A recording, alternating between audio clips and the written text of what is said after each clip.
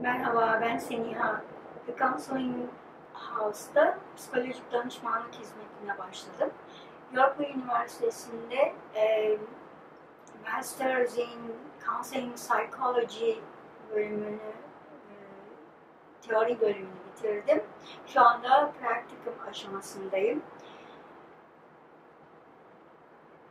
E, gizlilik ilkelerine bağlı kalmak şartıyla kişisel kişisel ve iletişim sorunlarınızı birlikte çözeceğimize inanıyorum. Ve inanıyorum ki her insan geleceğe yönelik e, olumlu değişiklikler yapmak için gerekli cevhere sahiptir. Benim görevim bu cevheri birlikte ortaya çıkarmak. Sıcak ve güvenli bir ortamda e, kendi değerlerinizin farkına vararak birlikte sorunların üstesinden geleceğimize inanıyorum. Sevgilerim.